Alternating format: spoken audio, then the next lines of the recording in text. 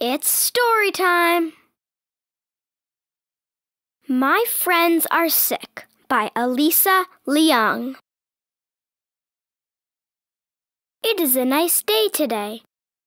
I will call my friends. They can come and play with me.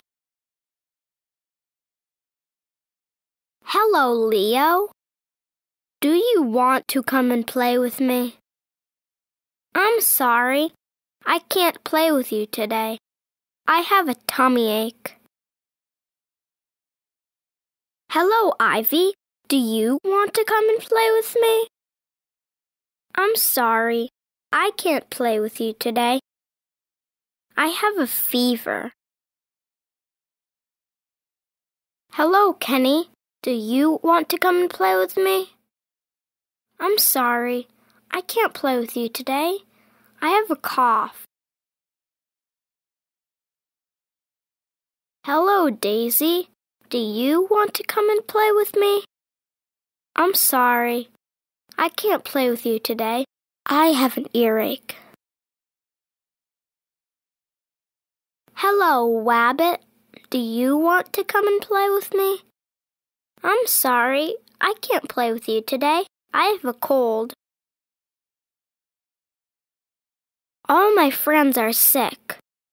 I will write them get well cards. I hope they will get well soon.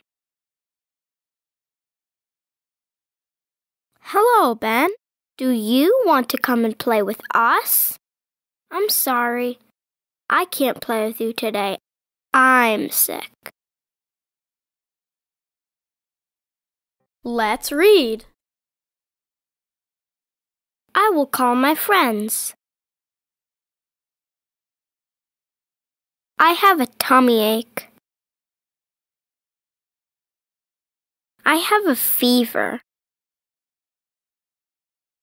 I have a cough. I have an earache. I have a cold. Get well soon. I'm sick. Let's do the activities. Activity 1. Color the pictures. What is wrong with Ben's friends? Leo has a tummy ache. Ivy has a fever. Kenny has a cough. Daisy has an earache. Wabbit has a cold. Activity 2. Ben is writing get well cards to his friends. Draw lines to the people who are sick.